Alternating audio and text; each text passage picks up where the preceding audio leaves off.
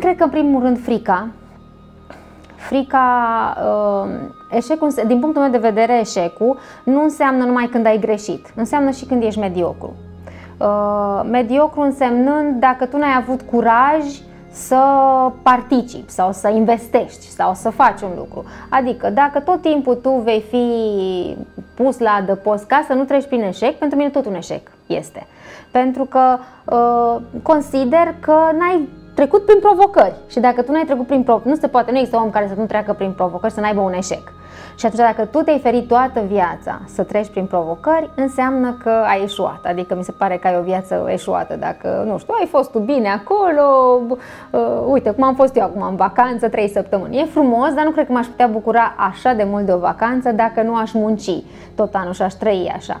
Deci mi s-ar părea și asta mi s-ar părea și de probabil și de asta toți, uh, toți actorii ăștia de la Hollywood o iau pe tot soiul de părți, bai cu alcoolul, bai cu drogurile, exact de asta, că probabil au tot ceea ce le trebuie, nu mai știu să se bucure, că de fapt ar putea să se bucure, dar nu mai știu să se bucure și cumva trăiesc viața asta care e călduță, e bună, dar nu simți adrenalina, pentru că adrenalina vine din uh, provocările vieții.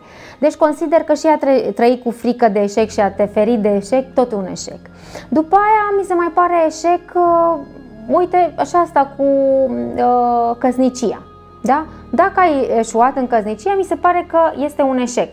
Ce nu, ce nu trebuie, adică nu trebuie văzut doar ca un eșec și atât. Uite, eu, de exemplu, uh, multă lume zice, a, eșuat, a eșuat și nu-mi plăcea. Vezi exact de asta, că avem frica asta de nu vrem să știe lumea că am eșuat și cumva, de câte auzeam chestia asta, mă deranja foarte tare și după care am stat eu cu mine și m-am gândit, de ce mă deranjează foarte tare?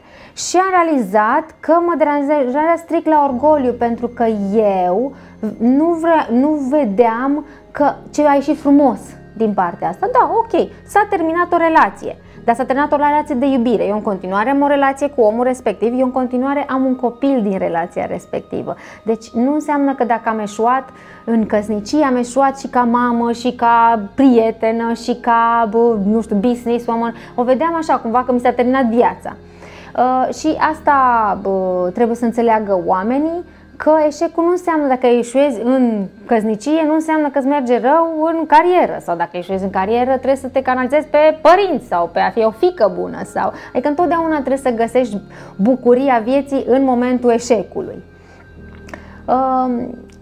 Ce să mai zic eu că consider eșec?